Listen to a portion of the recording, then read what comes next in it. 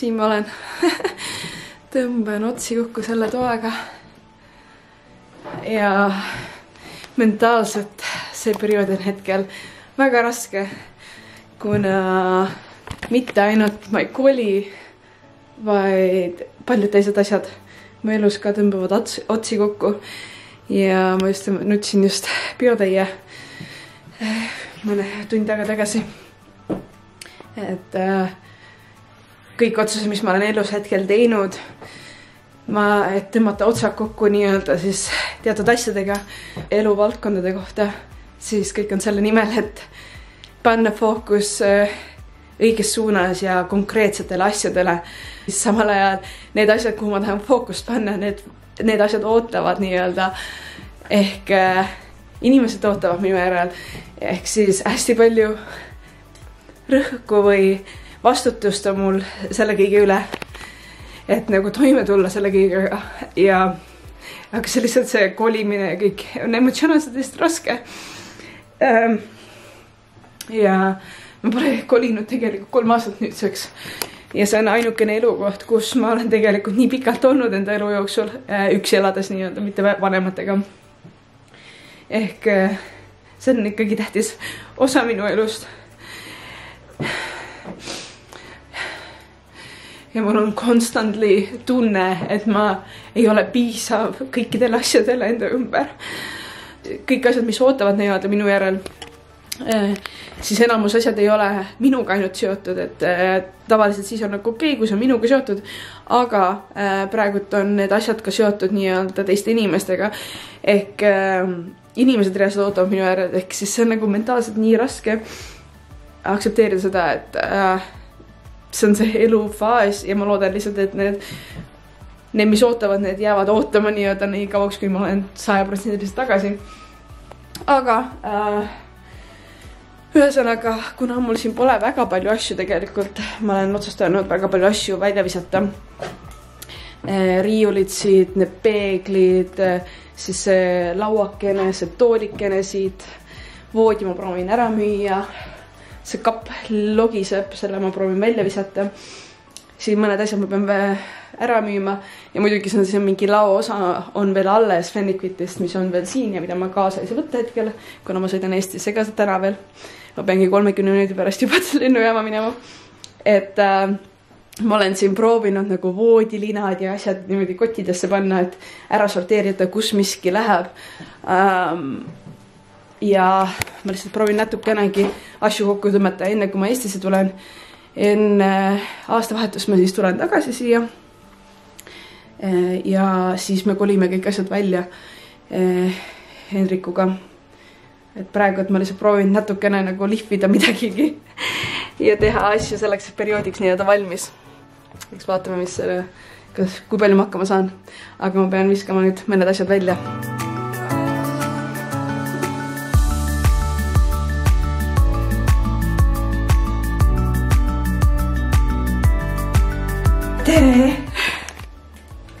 okei okay., minu hommik on olnud tõesti hullupöörane, kuna me oleme hetkel tagasi korteris, nagu näete, siis ähm, ja ma samal ajal pean olema ühel kohtumisel ehk äh, ma panen vahepeal endale kõrvaklapi pähe, et olla sellel kohtumisel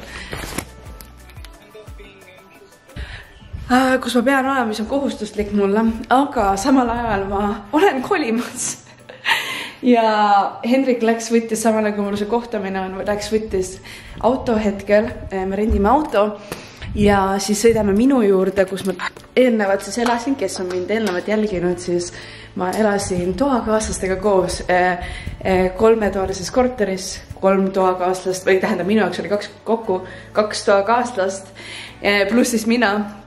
ja nüüd on väga suur muutus, kuna ma kolin enda kaaslasega kokku ja see on esimene kord minu elus, kus ma, mul on nagu, elan kuskil korteris, mis on natukene mugavam kui külmad äh, plaatpõrandad ja korterikaaslased, kes on väga ähm, eh, kuidas ütled, ebameeldivad ja peame üksteisega arvestama, toast me ei tule välja ja üldse minu elustandard muutub nüüdseks ja see on hästi suur muutus minu jaoks ja ma olen väga õnnelik selle üle. aga Hendrik läks just, võttis auto ja ta tuleb, võtab mind kohe-kohe käe peale.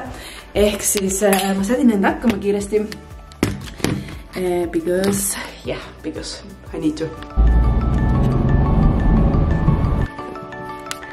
Nonii, nüüd on aeg kolida ja kõik see pahe tuleb lei-, tuleb leida sellele õige koht ning ma vaatangi, mis nüüd nendest kõikidest järgi jääb põhimõtteliselt. How's that going So easy, I feel like Santa Claus. Santa Claus. vaikselt tühjeneb, juba võtab ilmest ja üks inimene tuleb, võtab selle voodi ära, ma müüsin selle voodi jumal tänatud maha. et keegi tuleb ja kirjab, korjab selle üles, et ma ei pea selle pärast muretsema õnneks. ja siis äh, mõned asjad ma proovin müüa maha.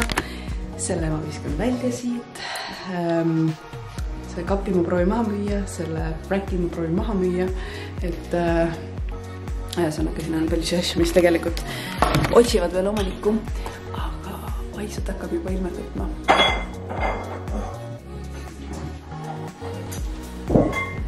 Are they really happy? Are they going out? No, You like them? Yeah. Okay. Oj.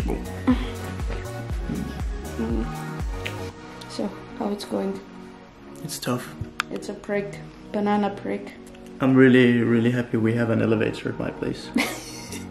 Oh, that's true actually. Yeah. And it's sixth floor at your place. Yeah. Oh, fuck. Imagine carrying everything up to sixth floor.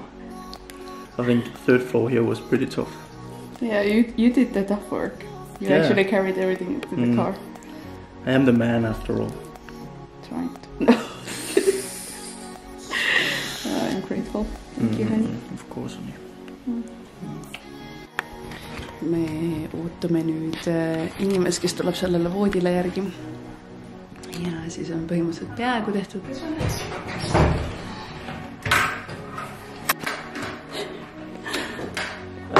This is a struggle. This is a struggle.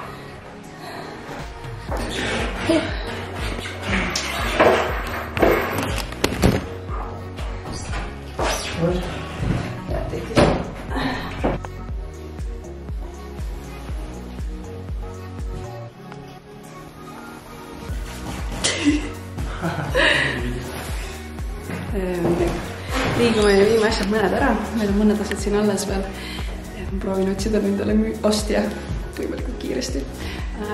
Ja siis ähm, me käime IKEA-s tegelikult, ostame mõned asjad endale juurde, mõned asjad viime ära praegu, et natuke seikluslik päev. Is it just perfect? Nice, well done. Perfect. Perfect. And I will take this one. Okay. Wow. Honey, you're really good at that. Wow.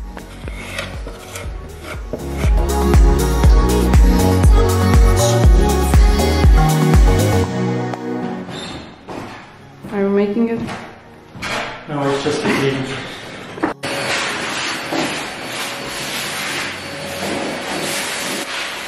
okei okay.. ma hetkel valmistan ette põrandapesuks vett. Hendrik juba tummimehega laseb enda põrandad läbi ja viimased otsad nüüd nagu näitas siis väljas juba tegelikult pime ka. Et kell on neli küll, aga juba pime ja viimased asendused, et saamegi sellega otsa korrale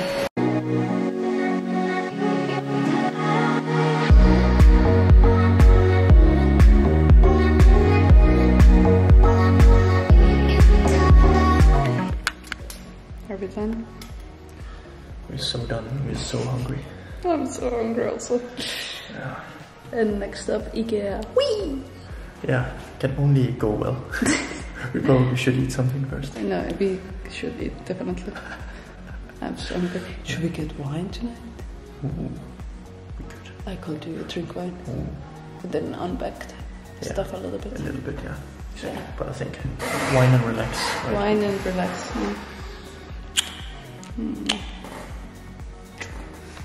Laura is trying. Yeah. Hmm. So exciting to watch things dry. Mm-hmm. Okay, I'm too hungry. it's hungry, hungry roll.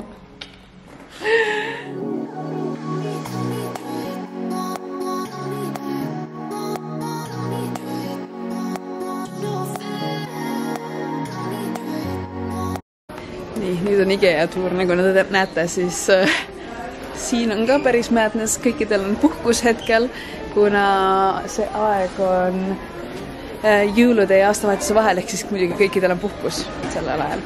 ja IKEA-s on väga palju inimesi. meil on umbes tund aega, et siin olla või poolteist tundi ja, ja ma loodan, et me saame kõik enda listis olevad asjad saame täidetud. meil on list tehtud selle jaoks, et siin olla hetkel äh, ja loodetavasti me peame enda listist kinni, et me ei osta rohkem asju põhimõtteliselt Are we buying a carpet? Like you just said, we can always bring it back. I mean, we can. could also go mustard. This is nice. This is nice. We could also go mus- mustard. This one there? Yeah. But this is huge. Where are you going to put that one? On the floor. That's a good guess. so, what it is. That's not that big you have. so, I convinced you?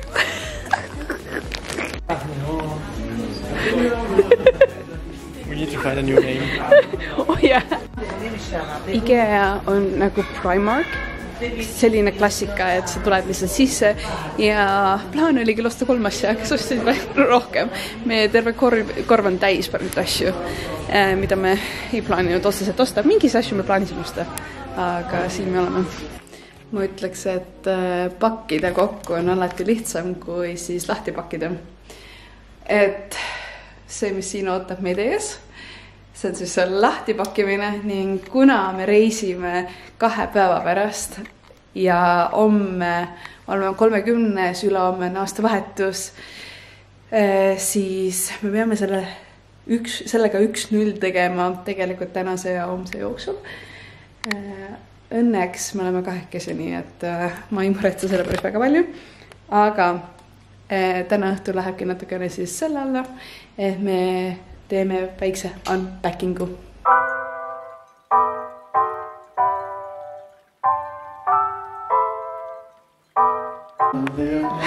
I've been circles, I just wanna find an empty